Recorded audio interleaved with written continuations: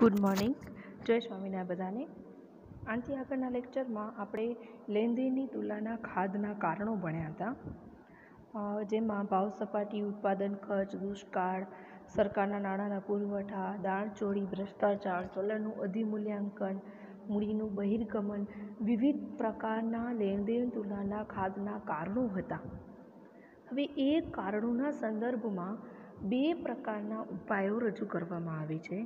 જેમાંનું સૌથી પહેલું, લેણદેણની તુલનાને દૂર કરવા માટેનું સૌથી પહેલું ઉપાય, જેનું નામ છે સ્વયં પ્રેરિત ઉપાય. જેમાં પ્રસ્તાવના તરીકે એટલું કહી શકાય કે લેણદેણની તુલનામાં જે પ્રતિકૂળતા કે અસમતુલા પેદા થાય છે, તેના મુખ્યત્વે બે પ્રકાર પાડી શકાય. સૌથી પહેલું, ટૂંકા ગાળાની અસમતુલા અને લાંબા ગાળાની અસમતુલા. ટૂંકા ગાળાની જે અસમતુલા છે એ તત્કાલીન પરિબળોનું પરિણામ છે. અર્થકરણમાં દુષ્કાળ હોય, ધરતીકંપ હોય, વાવાઝોડું હોય, યુદ્ધને લીધે જે ઉદ્ભવી શકે છે તેનું નિવારણ આપણે ઝડપથી અને સરળતાથી થઈ શકે છે. સુવર્ણ ધોરણમાં સોનાની નિકાસો દ્વારા અને અત્યારના સમયમાં આંતરરાષ્ટ્રીય નાણાં ભંડોળ પાસેથી ટૂંકા ગાળાની લોન લઈને તેનું નિવારણ થઈ શકે છે. ટૂંકા ગાળાની જે અસમતુલા છે, એ અર્થતંત્રમાં ખાસ સમસ્યાઓ પેદા કરતી નથી અને તેથી તે ચિંતા પ્રેરક પણ નથી. પરંતુ લાંબા ગાળાની જે સમ- અસમતુલા છે, એ ચિંતાજનક ગણવામાં આવે છે. કેમ કે એવો નિર્દેશ કરે છે કે લેણદેણની તુલા સતત અને લાંબા ગાળા સુધી ખાદ છે. સામાન્ય પગલાં દ્વારા આપોઆપ આ ખાધ હોય ને એને આપણે દૂર નથી કરી શકતા. એના માટેના અમુક વિશિષ્ટ પ્રયાસો કરવા પડે છે. અને જો એ નહીં કરી, તો એ અસમતુલા દેશને વિદેશી દેવામાં ડૂબાડી દે છે. નાદાર બનાવી નાખે છે. અને એનાથી જ આંતરરાષ્ટ્રીય સધરતા આપણી ઘટે છે. અને એટલા જ માટે લેણદેણની તુલાની અસમતુલાને દૂર કરવા માટે આપણે ઉપરની માહિતી ઉપરથી નીચે મુજબની નિવારણ કરી શકીએ છીએ, જેમાં બાબત સ્પષ્ટ છે કે લેણદેણની તુલના એ પ્રતિકૂળ ન હોવી જોઈએ અથવા તો સમતોલ હોવી જોઈએ. અને જો એમ જા, એમ જ્યારે કહીએ છીએ, ત્યારે એનો અર્થ એ નહીં કે વેપાર બધા જ દેશો સાથે લેણદેણની તુલના અનુકૂળ હોવું જોઈએ.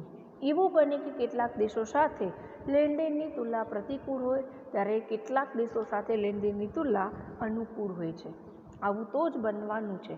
પરંતુ એકંદરે, અર્થાત બધા જ દેશો સાથે લઈને લેવડ દેવડનું ધ્યાનમાં લેતા કુલ આયાતી ખર્ચનું પ્રમાણ, કુલ નિકાસી ખર્ચ કરતાં, કમાણી કરતાં વધવું જોઈએ નહીં.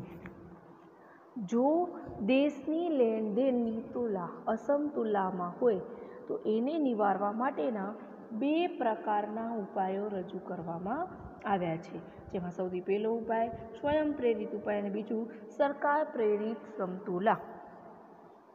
જેમાં પ્રશિષ્ટ અર્થશાસ્ત્રીઓએ પ્રોફેસર કેન્સના મતે જો અર્થતંત્ર મુક્ત રીતે કામ કરતો હોય તો લેણદેણની તુલના કુદરતી રીતે એટલે કે સમતુલાલક્ષી વલણ ધરાવે છે. એટલે કે લેણદેણની તુલનામાં ખાદ કે પૂરા આવતી હોય તો એ આપોઆપ જ દૂર થઈ જાય છે. અને તે સ્વયં કે જાતે સમતુલામાં આવી જાય છે. અને આ સ્વયં સંચાલિત સમતુલા કેવી રીતે આવે છે અને પ્રશિષ્ટ અર્થશાસ્ત્રીઓએ ભાવ પરિવર્તન દ્વારા, પ્રશિષ્ટ અર્થશાસ્ત્રીઓએ ભાવ પરિવર્તન દ્વારા અને કેન્સ અને તેમના અનુયાયીઓ દ્વારા આવક પરિવર્તન દ્વારા સમજાવ્યું છે. મિત્રો, લેણદેણની તુલામાં અસમતુલા આવતી હોય છે. એ અસમતુલા બે પ્રકારની હોય છે. પ્રતિકૂળ પણ હોય છે, અનુકૂળ પણ હોય છે. પ્રતિકૂળ અથવા તો અનુકૂળ જે અસમતુલા છે, બંને અસમતુલા લાંબા ગાળે આપણા અર્થતંત્ર માટે ઇચ્છનીય નથી. પરંતુ એને કેવી રીતે દૂર કરવી? એના માટે બે પ્રકારના ઉપાયો રજૂ કરવામાં આવ્યા છે, જેમાં સૌથી પહેલો ઉપાય, સ્વયં સંચાલિત ઉપાય. અને બીજું, સરકાર પ્રેરિત ઉપાય, જેમાંના પ્રશિષ્ટ અર્થશાસ્ત્રીઓ સ્વયં સંચાલિત અથવા તો ભાવ પરિવર્તન દ્વારા શું કરે છે? લેણદેણની તુલાને દૂર કરવાનો પ્રયત્ન કરે છે. અને એવી રીતે સરકાર પ્રેરિત ઉપાયોમાં શું કરવામાં આવે છે? આવક પરિવર્તન દ્વારા પ્રોફેસર કેન્સ અને એમના અનુયાયીઓ દ્વારા આવક પરિવર્તન કરી અને લેણદેણની તુલાને સમતુલા લાવવાનો પ્રયત્ન કરતા હોય છે. જેમાંનો સૌથી પહેલો મુદ્દો ભાવ પરિવર્તન દ્વારા, જેને રજૂ કરનાર હતા આપણા પ્રશિષ્ટ અર્થશાસ્ત્રીઓ. જેમાં ભાવ પરિવર્તન દ્વારા સ્વયં સંતુલા મેળવવાનો છે. જેમાં પ્રોફેસર રિકાર્ડો, ડેવિડ હોમ વગેરે પ્રસિદ્ધ અર્થશાસ્ત્રીઓએ સોના ધોરણ હેઠળ, યાદ રાખજો, વગેરે પ્રસિદ્ધ અર્થશાસ્ત્રીઓએ સોના ધોરણ હેઠળ લેણદેણની તુલનાને સ્વયં સંચાલિત પ્રક્રિયાને સમજાવવી છે. તેમની આ સમજૂતીમાં નાણાં પરિમાણનું સિદ્ધાંત સાચું છે. અર્થતંત્રમાં પૂર્ણ રોજગારી છે, અર્થતંત્ર મુક્ત છે અને વેપાર કરતા દેશોમાં સોના ધોરણના નિયમોનું પાલન કરે છે. તેવી અવાસ્તવિક ધારણાઓ ગૃહિત છે. સોના અને ધોરણ અપાવનાર દેશો તેમના ચલણનું મૂલ્ય સોના સાથે સાંકળતા હતા અને સોના ધોરણ અપાવનાર દેશ સોનાની આયાત થતાં ચલણ વિસ્તરણ અને સોનાની નિકાસો કરતાં ચલણનું સંકુચન કરવો પડતો હતો. ચલણના વિસ્તરણને લીધે અર્થતંત્રમાં ચીજ વસ્તુઓ અને સેવાઓના ભાવ વધે છે અને ચલણના સંકોચનના કારણે તેના ભાવોમાં ઘટાડો આવે છે. હવે ધારો કે વેપાર કરતા બે દેશો છે. અ દેશ છે અને બ દેશો છે. અ દેશોની નિકાસો કરતાં એની આયાતો વધુ છે અને તેથી તેની લેણદેણની તુલનામાં ખાધ જોવા મળે છે. બ દેશ છે તેની નિકાસો વધુ છે. એની પુરાંત છે એના લેણદેણની તુલનામાં હવે આ વસ્તુ આપણે આજે આખું કોષ્ટક છે એ સમજાવે છે કે લેણદેણ તુલના લાંબા ગાળે કઈ રીતે સ્વયં સંચાલિત સમતોલમાં આવે છે. જો અ દેશ છે તો એની આયાતો વધુ છે, નિકાસો ઓછી છે. બ દેશ છે તો એમની આયાતો ઓછી છે, નિકાસો વધુ છે. આની નિકાસો વધુ હોવાના કારણે એની લેણદેણની તુલનામાં ખાધ જોવા મળે છે અને આના લેણદેણની તુલનામાં પુરાંત જોવા મળે છે. આ ખાદ પૂરવા માટે સોનાની નિકાસો કરવી પડે છે, જેના કારણે ચલણનો સંકુચન થાય છે. અને આ દેશમાં, બ દેશમાં સો, સોનાની પુરાંત હોવાના કારણે સોનાની આયાતો કરવી પડે છે, જેના કારણે ચલણનું વિસ્તરણ થાય છે. અ દેશ છે, એની ભાવ સપાટી નીચી જાય છે. બ દેશ છે, એની ભાવ સપાટી ઊંચી જશે. ભાવ સપાટી ઘટતાં નિકાસી વસ્તુ સસ્તી બને છે અને આયાતો મોંઘી બને છે. અને આની ભાવ સપાટી વધતાં નિકાસુ વસ્તુ મોંઘી બને છે, આયાતો સસ્તી બને છે. નિકાસો વધતાં, આયાતો ઘટતાં ધીમે ધીમે અર્થતંત્રમાંથી ખાધ દૂર થવાના કારણે સમતોલ બને છે. અને એનાથી તદ્દન વિરોધમાં નિકાસો ઘટે છે, આયાતો વધતાં તેથી લેણદેણની તુલનામાં પુરાંત આવવાના કારણે લાંબા ગાળે અર્થતંત્રમાં સમતોલ આવી જતું હોય છે. તો હવે અહીંયા ભાવ પરિવર્તન દ્વારા સ્વયં સંતુલા સમજાવવાનું છે, જેમાં રિકાર્ડો, ડેવિડ હોમ વગેરે જેવા અર્થશાસ્ત્રીઓ સોના ધોરણની પદ્ધતિને અપનાવી અને લેનદેનની તુલનાને સ્વયં સંચાલિત કરવાનો પ્રયત્ન કરે છે. જેમાં એ લોકોએ ધારણા કરી છે કે પૂર્ણ રોજગારી છે, અર્થતંત્ર મુક્ત છે, વેપાર કરતા દેશોમાં સોના ધોરણના નિયમોનું પાલન કરવામાં આવે છે. આવી બધી ધારણાઓથી આ સિદ્ધાંત રચાયેલો છે. જેમાં એ કહે છે કે સોના ધોરણ અપનાવતા દેશોમાં ચલણનું મૂલ્ય સોના સાથે સાંકળવામાં આવે છે. જેમાં સોનાના આયાતો થતાં ચલણનું વિસ્તરણ થાય છે અને ચલણ સોનાની નિકાસો થતાં ચલણનું સંકુચન થતું હોય છે. બે દેશ આવ્યા. અ દેશ અને બ દેશ. એક દેશમાં શરૂઆતમાં આયાતો વધુ હતી, નિકાસો ઓછી હતી અને બ દેશમાં શરૂઆતમાં નિકાસો વધુ હતી અને આયાતો ઓછી હતી. પહેલા દેશમાં ખાદ હતી, બીજા દેશમાં પુરાંત હતી. લાંબા ગાળે ખાદ અને પુરાંતને પૂરવા માટે નિકાસો પહેલા દેશમાં વધારવામાં આવે છે અને બીજા દેશમાં ઘટાડવામાં આવતું હોય છે. જેમાં પ્રથમ દેશમાં ભાવ સપાટી નીચી જાય છે અને બીજા દેશમાં ભાવ સપાટી ઊંચી જવાના કારણે લાંબા ગાળે પ્રથમ દેશમાં નિકાસો સસ્તી બને છે અને બીજા દેશમાં નિકાસો મોંઘી બને છે. અને આવી રીતે લાંબા ગાળે પ્રથમ દેશમાંથી આયાત લાંબા ગાળે પ્રથમ દેશમાંથી પણ લેણદેણની તુલનાની ખાદ દૂર થાય છે અને બીજા દેશમાંથી લેણદેણની તુલા ઉરાંત દૂર કરવામાં આવે છે. એક દેશની આ નિકાસ એક દેશની ખાદ દૂર થાય છે અને બીજા દેશની પુરાંત દૂર થાય છે. લાંબા ગાળે બંને દેશ સમતોલમાં આવી જાય છે. આ હતું ભાવ પરિવર્તન દ્વારા કરવામાં આવતું સ્વયં સંતુલામાં લેણદેણની તુલા હવે આવશે આવક પરિવર્તન દ્વારા સ્વયં સમતુલા. અને એ રજૂ કરનાર હતા પ્રોફેસર કેન્સ અને તેમના અનુયાયીઓ.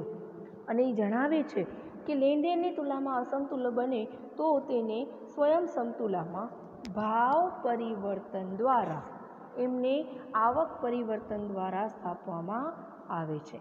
અર્થતંત્રમાં એક વિભાગ કે વર્ગની આવક ખર્ચ, અન્ય વિભાગ કે આવક અને ખર્ચ ઉપર નિર્ભર છે. ઉદાહરણ તરીકે, કૃષિ ક્ષેત્ર છે, ઔદ્યોગિક ક્ષેત્ર છે અને નોકરીઓ અને સેવાઓનું ક્ષેત્ર છે. વગેરે માટે પરસ્પર એ લોકો એકબીજા ઉપર શું છે? નિર્ભર છે. ઉદાહરણ તરીકે, ભારત જેવા કૃષિ પ્રધાનના દેશમાં કૃષિ ક્ષેત્રે અનુકૂળ મોસમ હોય તો આવક વધે છે અને તેથી આ ક્ષેત્રમાં લોકો પોતાનું ખર્ચ વધારે છે. તેની ગુણક અને ગતિવર્ધનની અસરને લીધે અન્ય ક્ષેત્રોની આવક વધે છે. અને તે જ પ્રમાણે, જ્યારે કોઈ એક ક્ષેત્રની આવક ઘટે છે, ત્યારે ગુણક અને ગતિવર્ધનની વિપરીત અસરને લીધે અન્ય ક્ષેત્રોની પણ આવકમાં ઘટાડો થાય છે. આવકમાં આ રીતે વિસ્તરણલક્ષી અને સંકુચનલક્ષી પરિવર્તન થવાથી લેણદેણની તુલનામાં પણ સંતુલા આવે છે. જો અહીંયા એમ કહેવા માંગે છે કે આવકના પરિવર્તન દ્વારા એક ક્ષેત્ર છે, એના સાથે ઘણા બધા બીજા ક્ષેત્રો જોડાયેલા છે. ઉદાહરણ તરીકે આપણું ખેતી ક્ષેત્ર છે, એના સાથે આવક, એના એના સાથે ઉદ્યોગ અને સેવાનું ક્ષેત્ર છે, એ બંને જોડાયેલું છે. એ જોડાયેલો હોવાના કારણે લાંબા ગાળે કૃષિ ક્ષેત્રની આવક વધવાના કારણે, ગુણક અને ગતિવર્ધનમાં એની આવકમાં વધારો થવાના કારણે એની અસર ઉદ્યોગ ક્ષેત્રો અને સેવા ક્ષેત્ર ઉપર પડે છે. એવી જ રીતે, કૃષિ ક્ષેત્રની આવક ઘટવાના કારણે એની અસર ઉદ્યોગ અને સેવા ક્ષેત્ર ઉપર પડતી હોય છે. અને આવી રીતે લાંબા ગાળે શું થાય છે? આવકના પરિવર્તન દ્વારા લેણદેણની તુલનામાં સમતોલામાં આવવાનું પ્રયત્ન કરવામાં આવે છે. હવે ધારો કે વેપાર કરતા બે દેશો છે આપણા પાસે, અ દેશ અને બ દેશ. અ દેશની નિકાસો કરતાં એની આયાતો વધુ છે અને માટે તેની લેણદેણની તુલનામાં ખાદ સર્જાય છે. બ દેશના આયાતો કરતાં નિકાસો વધુ છે અને એની લેણદેણની તુલનામાં ઉરાંત સર્જાય છે. અ દેશની આ ખાદ અને બ દેશની આ પુરાંત આવકના પરિવર્તનમાં કેવી રીતે દૂર થશે એને આપણે પાછું એક કોષ્ટક દ્વારા સમજશું. જેમાં પાછું એક કોષ્ટક આવે છે, ધ્યાન આપજો. આની આયાતો વધુ છે, આની નિકાસો વધુ છે. આયાતો આની વધુ હોવાના કારણે એના એના દેશમાં ખાદ સર્જાય છે અને આના દેશમાં નિકાસો વધુ હોવાના કારણે પુરાંત સર્જાય છે. નિકાસો ઓછી છે અથવા તો ઘટી ગયેલી છે. એટલે કે નિકાસ ક્ષેત્રે રોકાયેલા લોકોની આવક છે, એ ઘટે છે અને તેમના માટે તેમનું ખર્ચ પણ ઘટે છે. અને નિકાસો વધુ હોવાના કારણે નિકાસની ક્ષેત્રે રોકાયેલા લોકોની આવક વધે છે અને તેમનું ખર્ચ પણ વધે છે. તેથી અર્થતંત્રમાં અન્ય વિભાગોની આવક ઘટશે અને આના અર્થતંત્રમાં અન્ય વિભાગોની આવક વધે છે. ગુણક અને ગતિવર્ધનને લીધે કુલ આવકમાં અનેક ગણો ઘટાડો થાય છે. અને આનામાં પણ ગુણક અને ગતિવર્ધનને લીધે અર્થતંત્રની કુલ આવકમાં અનેક ઘણો વધારો થાય છે. કુલ આવક ઘટતા લોકોની ખરીદ શક્તિ ઘટે છે અને આયાતી વસ્તુઓની માંગ ઘટે છે. અને અહીંયા આવક વધતા ખરીદ શક્તિ વધે છે અને માંગ વધે છે. અહીંયા માંગ ઘટે છે અહીંયા માંગ વધે છે. માટે લેણદેણની તુલનાની ખાદ દૂર થશે અને તેને સમતોલ બનાવવામાં આવશે અને અહીંયા પણ લેણદેણની તુલના તુરંત બનશે અને એને પણ સમતોલ બનાવવામાં આવે છે. ટૂંકમાં એક દેશની આ આવક ઓછી હોવાના કારણે લાંબા ગાળે એ દેશની ખરીદ શક્તિ ઓછી થશે. ખરીદ શક્તિ ઓછી થવાના કારણે લાંબા ગાળે દેશની માંગ ઘટવાના કારણે શું થાય છે? ધીમે ધીમે અર્થતંત્રમાંથી ખાદ દૂર થાય છે. અને એવી જ રીતે અહીંયા બીજા દેશમાં પુરાંત છે. તો પુરાંતમાં પણ અન્ય દેશોની એનામાં પણ નિકાસો વધવાના કારણે દેશની આવકમાં વધારો થવાના કારણે દેશના ખર્ચાઓમાં વધુ વધારીને, વધારોને વધારો થવાના કારણે આવક વધતા, ખર્ચ વધતા, કુલ આવકમાં અને ઘણો વધારો થતાં, ખરીદ શક્તિમાં વધારો થતાં, માંગમાં વધારો થવાના લીધે લોકોની માંગ વધતા, લોકોના વપરાશમાં વધારો થવાના કારણે લાંબા ગાળે એ દેશમાંથી પણ પુરાણ શું થાય છે? દૂર થાય છે. અને આમ જોઈ શકાય છે કે સરકાર કે મધ્યસ્થ બેંકની દખલગીરી કે વિશેષતાના પ્રયાસો વિના લેણદેણની તુલનામાં ભાવ પરિવર્તન દ્વારા અને આવક પરિવર્તનની પ્રક્રિયા દ્વારા આપમેળે સમતુલામાં આવી જાય છે. છતાં, આ સ્વયં સ્વયં પ્રેરિત સમતુલાના નીચેના ત્રણ મર્યાદાઓ જોવામાં આવે છે. જેમાંની સૌથી પહેલી મર્યાદા, કે ખાદ્યવાળા દેશમાં આવક પરિવર્તન અને ભાવ પરિવર્તન ને લીધે બેકારીનો પ્રશ્ન ઉપસ્થિત થશે. હાલના કલ્યાણના રાજ્યોને બેકારીનું પ્રમાણ વધે તે બાબતને બિન આવકારદાયક ગણવામાં આવે છે. આવક અને ભાવનું ઘટાડો અર્થતંત્રમાં કદાચ ભલે મંદીને પણ જન્મ આપે દરેક દેશ મંદીને ફુગાવે અને બદતર અનિષ્ટને ગણીને તેને દૂર રાખવાનો પ્રયત્ન કરે છે. અને એટલા જ માટે આવક પરિવર્તન અને ભાવ પરિવર્તન દ્વારા જે મંદી આવે છે જે ફુગાવો આવે છે, એને દરેક દેશ આવકારદાયક ગણતા નથી. એની પહેલી મર્યાદા, બીજી મર્યાદા. સ્વયં પ્રેરિત સમતુલાને લીધે આયાતો ઘટશે. પરંતુ એમ બને કે ઇચ્છનીય આયાતો ઘટી જાય અને અનિચ્છનીય આયાતો ન ઘટે. અને વળી જો નિકાસોનો આધાર આયાત થતા કાચા માલ અને યંત્રો ઉપર હશે, તો આવા સંજોગોમાં આયાતો ઘટતા નિકાસો પણ ઘટશે અને આવું પગલું આત્મઘાતક પુરાર થાય છે. એટલે કે ટૂંકમાં એમ કહેવા માંગે છે કે જો લાંબા ગાળે આપણી આયાતો ઘટે અને એના પરિણામ સ્વરૂપ નિકાસોમાં પણ જો ઘટાડો થાય, તો ઘણીવાર આપણે કાચા માલની વસ્તુઓ પણ આપણે પ્રાપ્ત થતી નથી અને એ આપણા અર્થતંત્ર માટે આત્મઘાતક ગણવામાં આવે છે. એના પછી સૌથી છેલ્લી મર્યાદા કે આ મર્યાદા, આ ઉપાય આયુર્વેદિક ઉપચાર જેવો લાંબા ગાળાનો છે. લેણદેણની તુલનાને ખાદ આપોઆપ ક્યારે દૂર નથી થતી એવું ચોક્કસ ન કહી શકાય. સમયના ગાળે સમયના ગાળો લાંબો તેમ અનેક પ્રશ્નો પેદા થશે. મૂળ રોગ દૂર થવાને બદલે અન્ય એટલા જ ગંભીર બીજા નવા રોગો પેદા થાય છે. એટલે કે બેકારીના પ્રશ્નો ઉદ્ભવે, મંદીના પ્રશ્નો ઉદ્ભવે છે, ફુગાવાના પ્રશ્નો ઉદ્ભવે છે, આયાતોમાં ઘટાડો થતાં ઉદ્યોગો માટે કાચા માલના પ્રશ્નો ઉદ્ભવે છે.